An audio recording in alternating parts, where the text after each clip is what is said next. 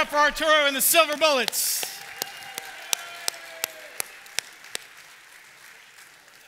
Welcome to Late Night Faith, live at Chapel Roswell. I'm your host, Eric Lee, and we have something special planned for you for the next three Sundays as we find the holiness in the humor of three of America's favorite late night shows Jimmy Kimmel Live, The Late Show with Jimmy Fallon, excuse me, The Tonight Show with Jimmy Fallon, and The Late Show starring Stephen Colbert.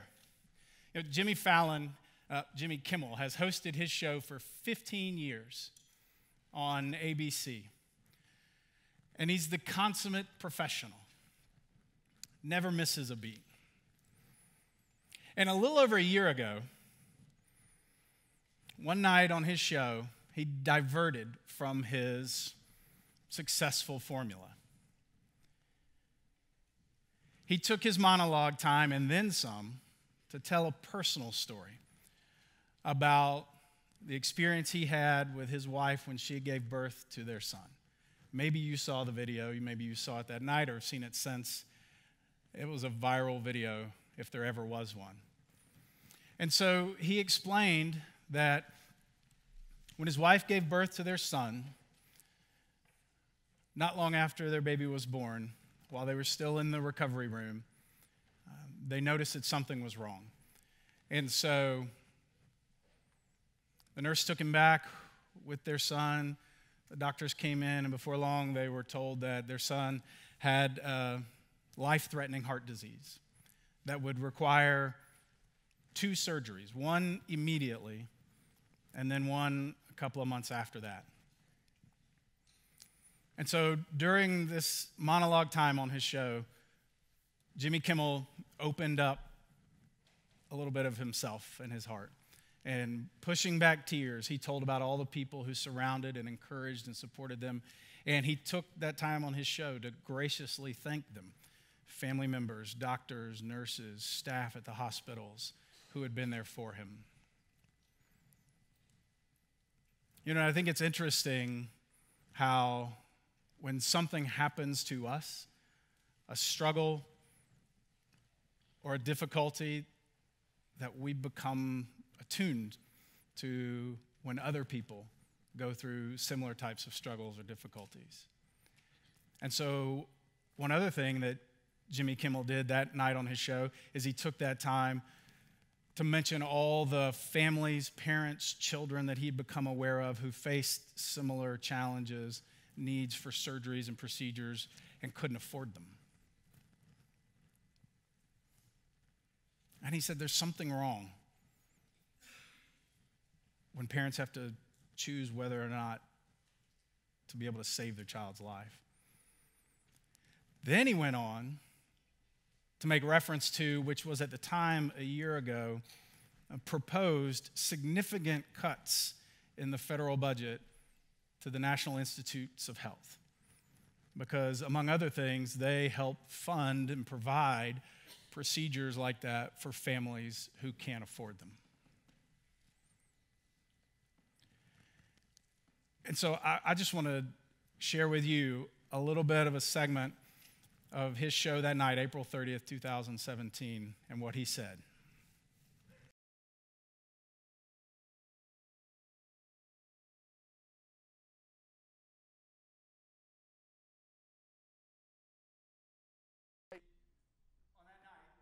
Jimmy Kimmel spoke up on behalf of the voiceless, people who don't have the platform or the influence that he has.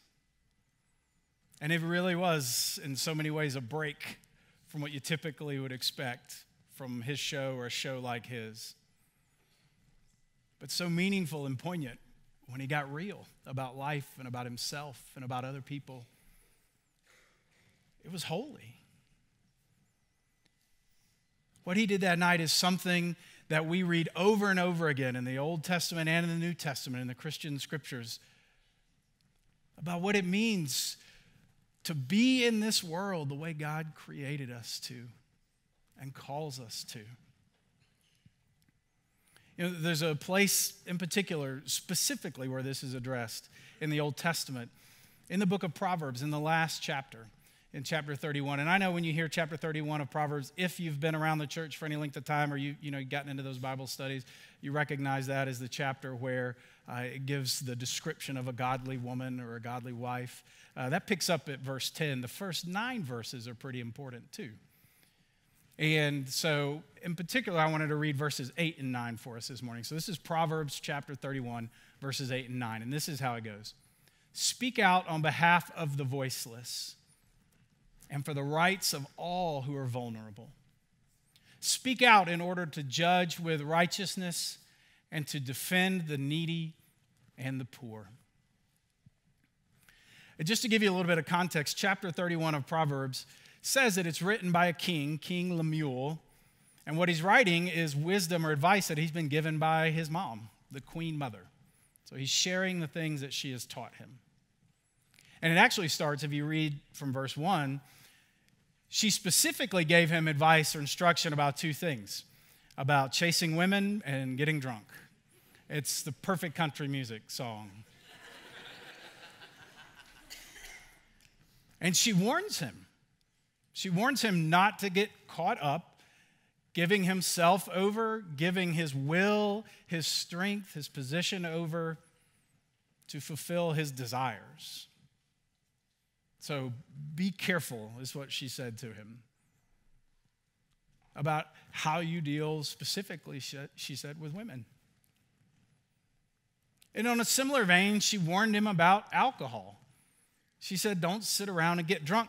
Don't drink away your responsibilities, is actually what she said. She said, Never forget that there are people all around you hurting and in need. And if anybody could use a stiff drink, it would be them.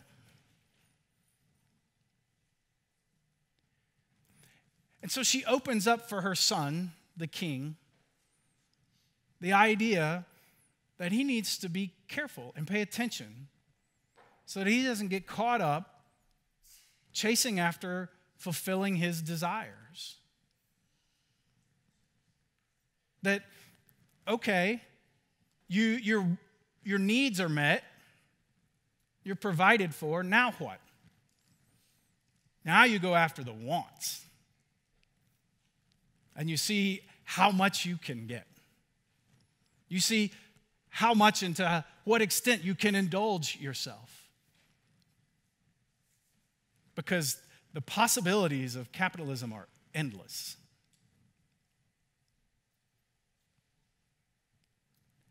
And similarly, when she warned him about getting drunk, don't drink away your responsibilities. Don't numb yourself to the plight and the needs of the people around you. Thank God for the wisdom of women in the scriptures and in the church. I threatened sometime to write a book about how women have ruined the church, um, right? Tongue in cheek. But, but this is one way I feel like. And I'll say, particularly for our faith tradition as United Methodist, since we ordain women to be pastors of churches and to lead churches, and we don't differentiate between men and women when it comes to leadership roles within the church, ergo, we've given voice to women among us, and, and without painting with too broad of a brush or generalizing, because we're all unique and different in our own ways, I will say that I think our church has introduced compassionate wisdom into our leadership that I, I think in ages past we've been missing. And so I, I thank God for the wisdom of the women who lead our churches and for the wisdom of this woman who gave this advice to her son. And in fact, he's not mentioned anywhere else in the scriptures. And so there is some discussion about is that even a real person, King Lemuel and his queen mother? Is it, was it supposed to represent Solomon and his mother Bathsheba? Or is it supposed to be just general advice to anyone in a position of influence and power authority, anyone with a voice to hear this warning, be careful that you don't get so caught up pursuing your own desires and your own wants and wishes. Be careful that you don't waste this opportunity, ignoring the needs and the realities of the lives of the people around you. Instead, this wisdom says, speak up on behalf of the vulnerable. Let your position, let your resources, let your influence and your station in life be for you an opportunity to raise the level for everybody. Speak out so that with righteousness there can be judgment on behalf of the vulnerable, the needy, and the poor. God calls us to a social consciousness, to be aware and attuned to the needs and the lives of the people around us.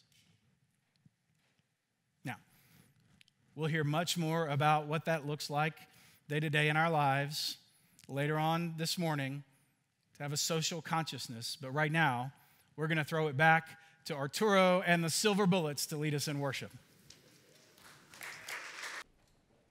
So, our special guest today is somebody you may not know.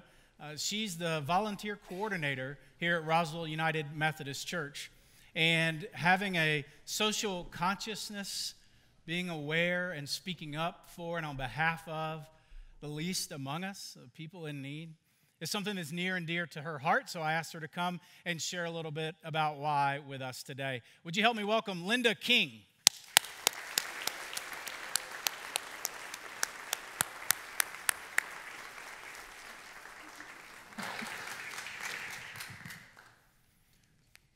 So, Linda, like I said, I know that this is something that is near and dear to your heart.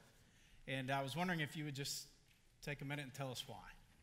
Sure. Um, my passion really comes from my story. Um, I know all of us have stories and things that have happened to us, but um, I grew up in a single mom home, and um, we lived literally in an alley. And um, my mom didn't finish high school, so she could only get a factory job after my dad left. So she made minimum wage, and we got by the best we could. My mom, um, my grandmother lived with us for a while, and they were devout Christians. We went to a Seventh day Adventist church regularly, which after I got older didn't float my boat on Saturdays. So, um, but without the church, I don't know where I would be. Um, you know, I got free lunches at school. Um, the church sent meals home a lot of Saturdays and um, really held us up. And it was a beautiful model. There weren't organizations like North Fulton Community Charities or the Drake House. So um, we were lucky that we did have a house, but making ends meet was difficult. Um, even in that situation, my mom, um, she worked at a factory with a lot of you know blue collar workers and she would still take them food or give them rides and um, it was just a beautiful model of loving others no matter what you have you know it doesn't matter and so how and thank you by the way for sharing something of yourself and your story with us um, so how has that impacted then your, your childhood and your experience growing up how has that impacted your adulthood? When we go out to serve in the community, like yesterday, we served um, at a local hotel here, and many of you went, thank you. But when I see those moms come out with their kids, I see my mom, and I see me and that kid. And if the church weren't there to lift those people up, where would they be? And so then you go to help, to, to be there. Tell us a little bit more about why, what that means to you when you go, why you do it. You know, we start putting all these things on us as we get older and we go to college and grow up and get a job, and, and we're looking for that, you know, success. Um, and we forget about the people that need us. And being with those people, I feel more at home with them than I do with a lot of people in this church, honestly. Um, they're stripped of all of that materialism and the money and the cars, and they are just trying to survive. And we have to figure out how to meet them where they are and let go of our egos. And you told me that you had a conversation with someone recently who was expressing some concerns or doubts for himself about going with you as a part of this team uh, to go be with people in need or who, who don't have the trappings and um, that we do. Will you, will you tell us about that conversation? Sure. Um, we had a um, group of Stephen ministers, and we went out on a Friday night to um, serve in our homeless community here. And um, Stephen ministers are trained to mentor one on one, to sit down and, and be there for somebody. And, um, but normally it's somebody more like you, right? So we were going out to a laundromat, local laundromat, and um, someone was uncomfortable doing that, a Stephen minister. And after we came back, um, he is a person who's active in our church and um, you know teaches Sunday school, and it just surprised me. And he said, "Why are you so comfortable just going up to someone and talking to them?" And you know, I thought about that because I didn't understand that, but it's about meeting those people where they are. We're all God's children. We're all just alike when it comes down to it. And when you walk into a laundromat or a shelter or our family promise or the women at Street Grace, you just have to smile at them and say hi. And somewhere God's going to make a connection because we are connected.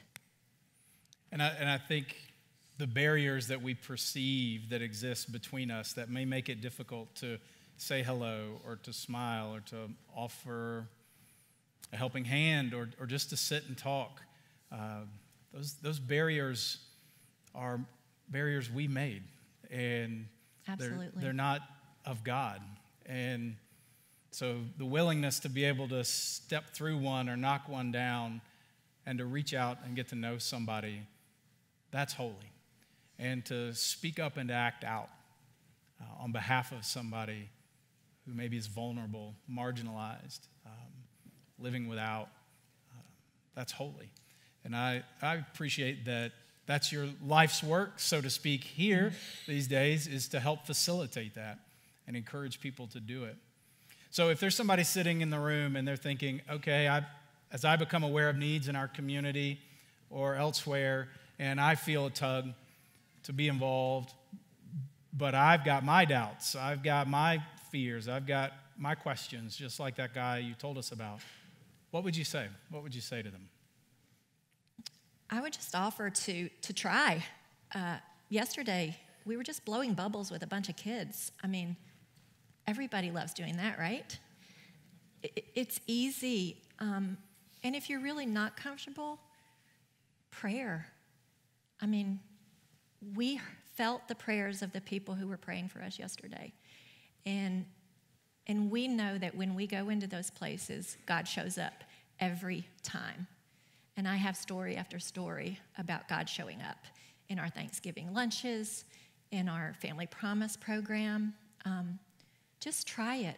And if you want to ask me about it, I'm always available and willing to talk to anyone about where they might go and serve and their fears and, and how to challenge yourself and get out of your comfort zone. Okay, and I want to give you the, the last word, the parting shot. If there's anything that we didn't talk about or that is on your heart that you'd like to share, um, I want to give you a chance to do that before we wrap. So um, go ahead. wow. Um, just love on people the way that God loves on us. I mean, He doesn't judge us. We shouldn't judge each other. And I think a lot of people are scared that the homeless people or the people at the laundromat are looking at us going, oh, they don't know anything about us. That's true. But we can find out, we can find the common ground. You just have to try and don't be afraid.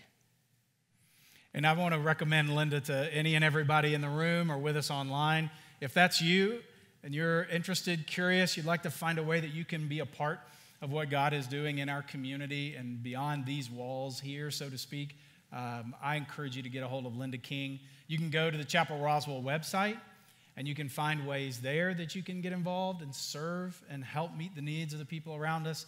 And you'll also find Linda's contact information there. So I want to ask if we could just pray together um, sure. before we move on.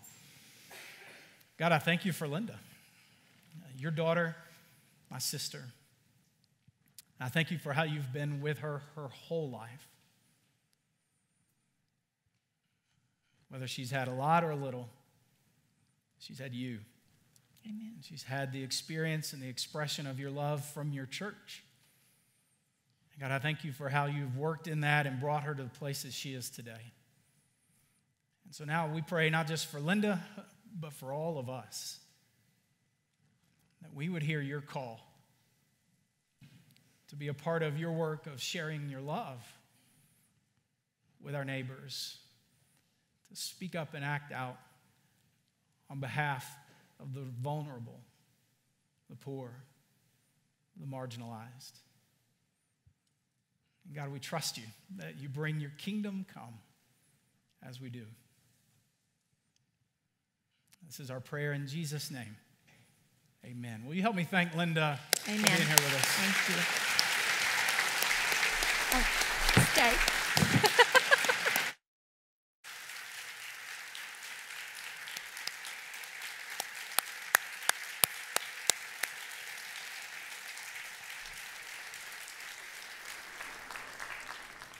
So, uh, so one of the funnier things that they do on Jimmy Kimmel Live, it may be not as holy. No, no, no lip sync. You're fine. Uh, one of the funnier things they do is a segment called Mean Tweets, where they have celebrities read mean things that people have tweeted about them. You know, people they would never hear from or meet or recognize, but then they record the celebrities reading those tweets saying mean things about themselves. And we here at Chapel Roswell thought we'd give that a try. So here you go. At Smart Guy 48 says, Eric Lee looks like if Zach Galifianakis and a raccoon had a baby. At Lucky Go Happy tweets, I love listening to Kristen Hayden preach. Aw. It reminds me that God really can use anybody.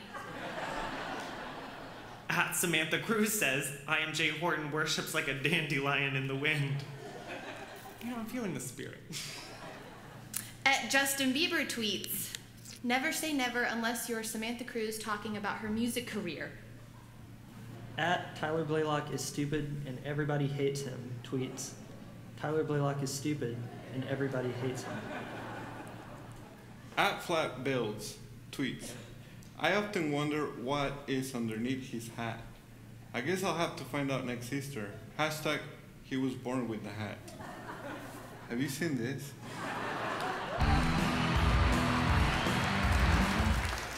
Chapel Roswell says, We're giving out water bottles to guests after worship. If this is your first time here, stop by the connection desk and collect your gift today. At Nowgene, hashtag we give the goods. At Chapel Roswell tweets, want to learn more about Chapel Roswell? Meet the pastors and staff and find out what it would mean for you to be a member here?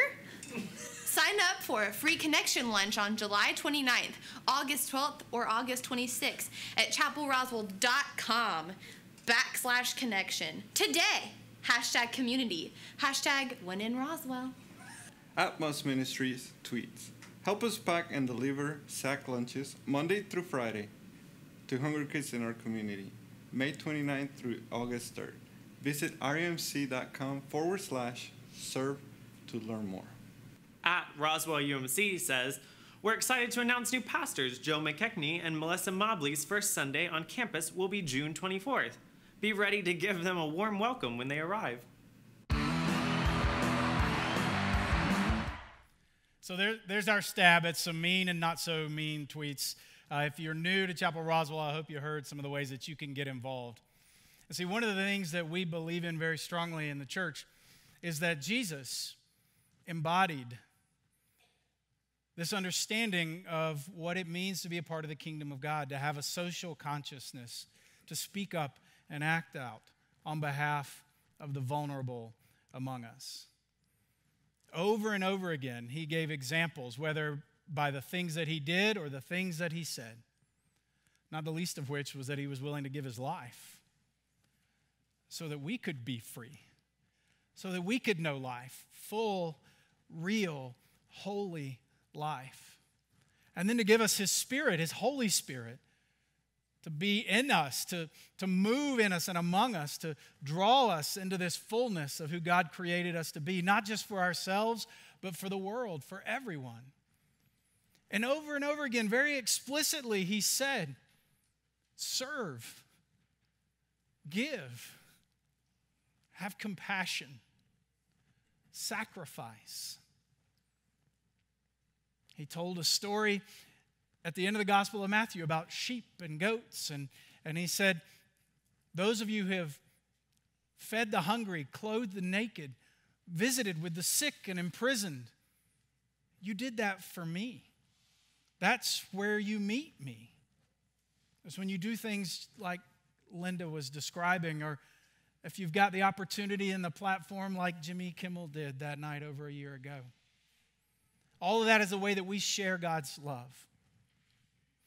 I heard a pastor by the name of Francis Chan a few years ago tell a story about these teachings of Jesus. And, um, you know, he wrote the book Crazy Love, was a pastor in California for a long time. Uh, in fact, it's my understanding that the coffee shop up the street is named in part after his book, Crazy Love. But he told this story or gave this example. He said, it's a challenge for him as a pastor to see that people who call themselves Christian don't follow the teachings of Jesus particularly the ones that are very obvious and concrete regarding how we live with one another and treat each other in care and compassion. And he said it'd be kind of like if I told my daughter, if I went into her room, which is perpetually a mess, and he said, and I told her, honey, I'd like for you to clean up your room. And then I left. And then she came back to me sometime later and said, Dad, I just want you to know, I heard what you said, and it was awesome. I mean, it was powerful. You wanted me to clean my room. I I've thought about it over and over and over again. Like I spend my days just meditating on that for me to clean my room. And in fact, my friends came over and we talked about it. Like we all talked about what that would mean to clean my room and how we would do it and what we might do first. I even learned how to say it in Greek. Like, I, am with you. Dad, that was amazing. But yet, all the while, never actually cleaning her room. And he said, How often we deal with the teachings and the examples of Jesus the same way. We hear them, it's clear, and yet we invest our time thinking about it, talking about it with each other, studying it, memorizing it, but maybe not doing it. so, what would it mean for you? To take the advice of the wisdom of the Proverbs, the teachings of Jesus, to speak up, to stand up, to act up on behalf of the vulnerable, to meet the needs of the hurting, the helpless, the poor around us, knowing that that's godly that's what Jesus has called us to do and empowered us to do. And that as we do it, people meet Christ and God's kingdom comes.